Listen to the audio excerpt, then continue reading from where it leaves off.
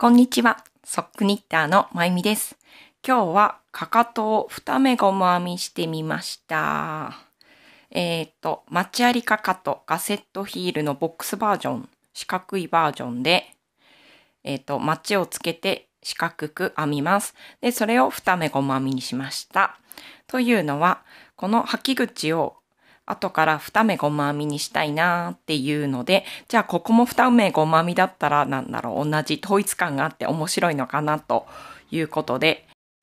ということで二目ゴム編みにしてみたいと思います。えっ、と、こちらはですね、メンズサイズです。34目あります。34目で編んできて、えっ、と、34割る3。11目を待ちにしたかったので、えっ、と、11目、11目待ち、待ちを作って、56目にしています。こちらが56目です。ここから34目に戻して、かかとを作っていきたいと思うのですが、えっ、と、マッチの作り方は、他にもいろいろ動画が上がっているのですが、えっ、と、編み出し増し目をしてメリヤス編み、編み出し増し目をしてメリヤス編みという感じにして、えっ、と、一段交互に増し目をしてきました。もし、ここがそんなにもうかかとまで距離がないのに、もっとこう厚みが欲しいわという時には、ここから急にこう編み出し増し目を続けて、タタタタタって続けても大丈夫です。えっ、と、要は足首の幅にここが合うように最終的に大きいとところに入るようにするといいと思います。で、ここから34目に戻すのですが、えっ、と、例えば足首とから上はそんなにこう太くない方とかは32目にしてもいいと思います。えーもしくはここの足首からちょっと太めにしたいよという方は途中でやめて、えっ、と、編むといいかなと思います。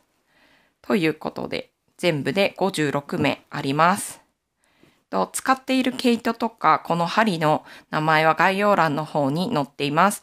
といつも載せておいてるので、よかったら見てみてください。こちらはアディのプレミアム0号針80センチのものです。で、この毛糸はスタイルというものです。では、えっ、と、56割る2、28のところまで編みます。最初からゴム編みするんじゃなくて、ただ最初は編みました。どこからゴム編みにすればいいかわからなかったので、1、2、3、4、5、6、7、8、9、10、11、12、13、14、15、16、17、18、19、20、21、22、23、24、25、26、27、28このやり方はあやとりさんという方に教えていただいたんですが、どんな目数でも同じやり方でできるので、まず町の全部の半分のところにマーカーをつける。そして、と今回は四角くしたいので、最後に34目にしたかったらその半分17目まで編みます。1、2、3、4、5、6、7、8、9、10、11、12、13、14、15、16で、17目の時に減らし目をしていきます。えっ、と、後ろのループをこの2つとも取って、こう編む、なんですけど、K2 ログ TPL みたいな、そんな編み方です。もう一回します。この2つを一目でにしたいんで、ので、この裏のループのところ、この私はこの指の腹で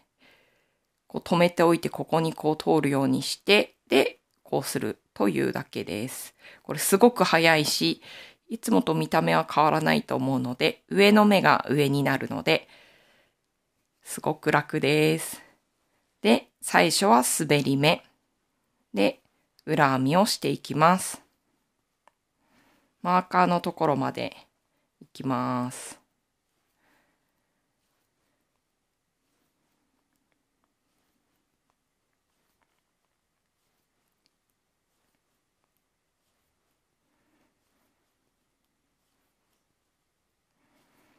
そしてマーカーから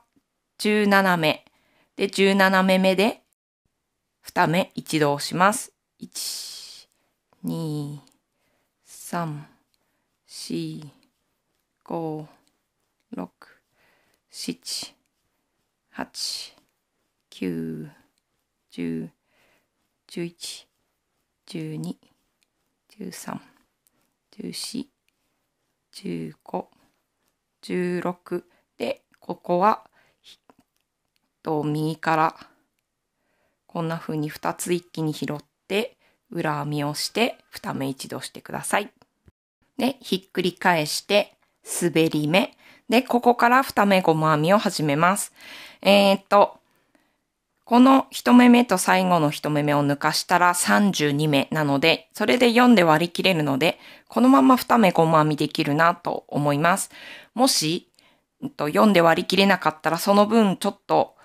例えば34目だったら、ここを表編みして表編み裏裏とかってするといいと思います。私は最初表を1つして裏を2つしてで、表、表、裏、裏という風にします。読んで割り切れるときは、最初に滑り目してから最初に表を編むという感じです。一目ゴム編みだったらこの計算いらないかもしれませんね。ああ、いろんな風にこうアレンジできると思います。ちょっと裏編みをね、私この向きを変えないようにして、こう編めるようになったので、この技ができるようになりました。もうマーカーを外しても大丈夫です。で、こっちから編み始めたので、ここにマークをつけておきたいと思います。裏、裏だったので、表、表、裏、裏、表、表、裏、裏、表、表、裏、裏。まだちょっと遅いんですがね。表、表。裏、裏。表で、で、さっき二目ごま編みしたところと、次の、あ、二目一度したところとその間が空いてるので、それをくっつけるように、針を突き合わせるようにして、こう、刺して、斜めに刺して、このままここで編んでしまいます。バックループの方で編んでいます。で、ひっくり返します。この一目目は裏編みみたいにこう滑り目をして、えっ、ー、と、ここから裏編み、表、表、裏というふうに裏、いつものリズムに戻ります。1段目、2段目は、前の段に何を編んだか分かりづらいので、よく見てくといいと思います。この表裏がずれてしまったらゴムにはならないですもんね。まあ間違えてしまったらそのまんま、うん、斜めのこう表編みがポコポコポコポコってこうスパイラルみたいに編むっていうのも面白いかもしれないし、そこら辺も楽しんでアレンジしましょう。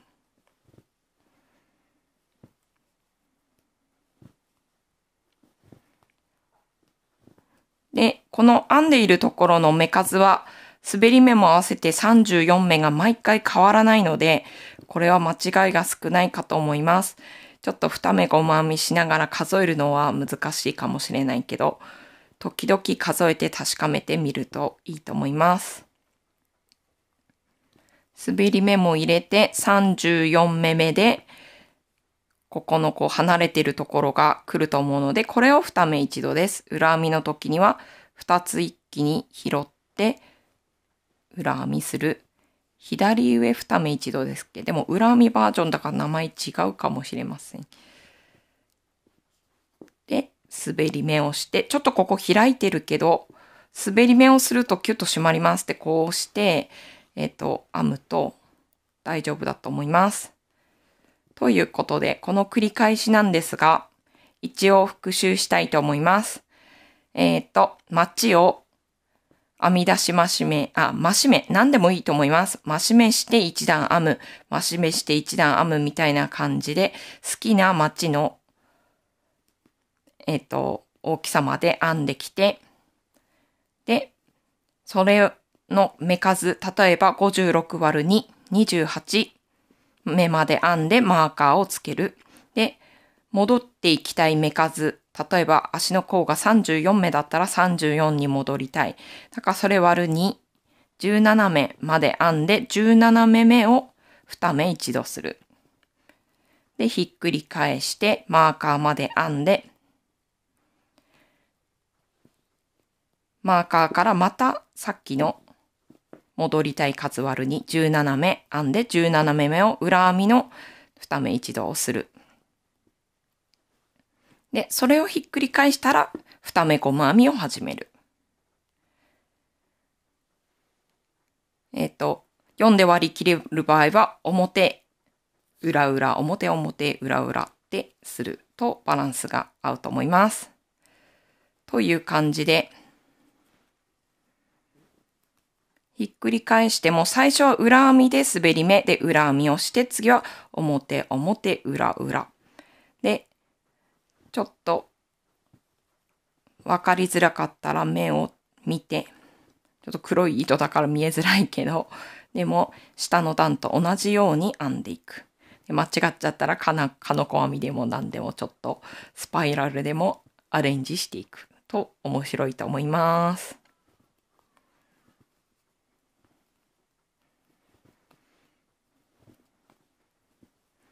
ということで、えっ、ー、と、今、この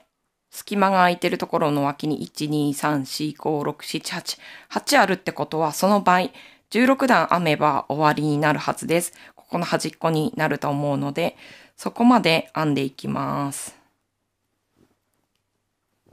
端っこの数を数えてもいいかもしれませんね。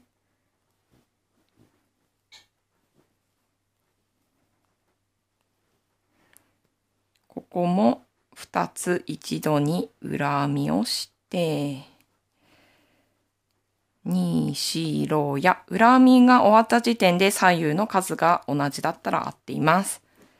では、引き返して、こんな風に裏、あ、滑り目をして、で、数えていきます。1、2、3、4、5、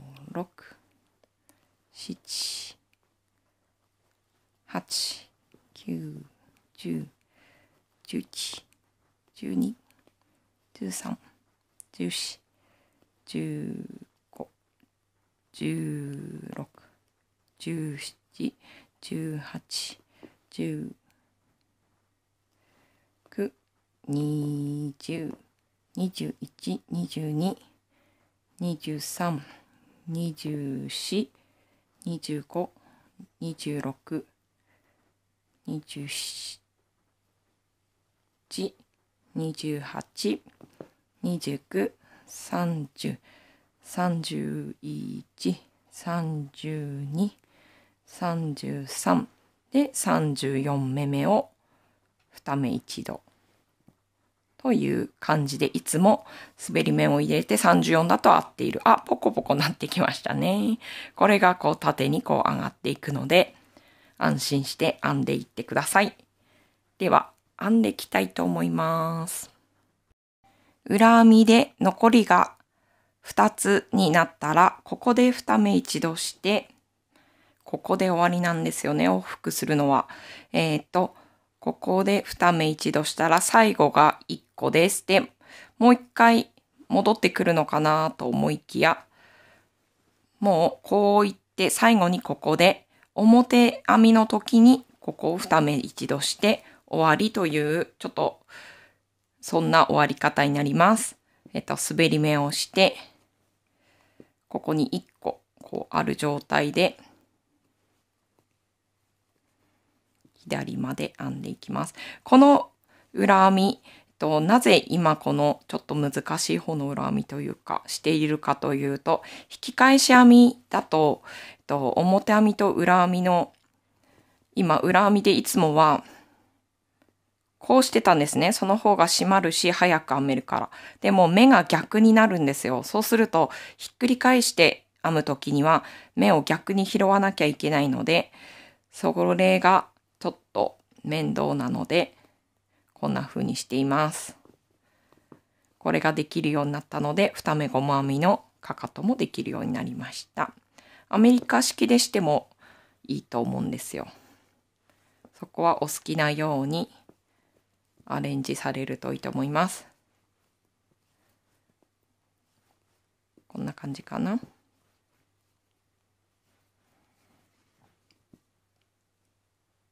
なので、目が逆になる方はお気をつけください。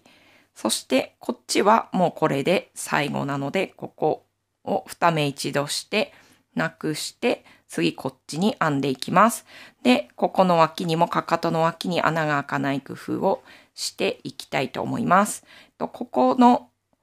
を2目一度するシーンを取っておきたいと思います。それでは、ここの2目一度をしたいと思います。こっちから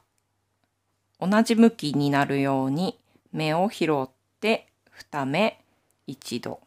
していくということです。で、この後私はメリヤス編みをするので、裏編みのところもメリヤス編みしていきたいと思います。この後ちょっと毛糸の色を変えて編んでみたいと思います。えっと、完成のシーンを撮りたいと思います。完成しました。で、今、水通しをしてソックハンガーに入れたところです。えっ、ー、と、ボックスヒールの二目ゴム編みがこんな感じになって、その後、一段だけメリヤス編みをしました。で、糸がちょうどなくなったので、そこからこのビューティー山の王っていうのに変えて、そこを二目ゴム編みしました。なので、こうパキッと色が変わってちょっと面白いです。しかも確かここら辺で糸がなくなったんですが、一段メリヤス編みを入れると、どこかわかりませんよね。で、段差がわからないように次の段に行ったら下を拾うみたいなこともしたので、今度チャンスがあったらそれを取ってみたいなと思います。二目ゴム編みのパキッとした色の変え方。こんな感じになりました。で、このボックスヒールからこう続いて二目ゴム編みっていうパターンもありだし、ここをメリヤス編みしてまた二目ゴム編みここら辺にするっていうのも面白いんじゃないかな。ちょっと予想できるかな。ということで、今日は二目ゴム編みのボックスヒールでした。最後まで見てくださりどうもありがとうございました。また次の動画でお会いしましょう。